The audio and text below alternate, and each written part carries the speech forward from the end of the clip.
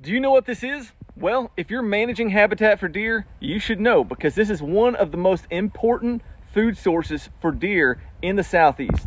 These are the tubers of smilax, also known as greenbrier. And in Alabama alone, we have over a dozen species. So smilax will hold on to their leaves throughout the winter and they're super nutritious to deer. It makes sense when they have tubers that large. So as a hunter, how do you use this information to your advantage? Well, in the preseason when you're scouting, look for areas where trees have blown down. When sunlight gets to the ground, that's when the smilax is gonna really take off. I mean, you can see how much the deer have been utilizing it in these areas. So when you're scouting this year, use the onX Hunt app to mark those blowdown areas. And you'll have one of the best food sources in your back pocket that I guarantee you everybody else is overlooking.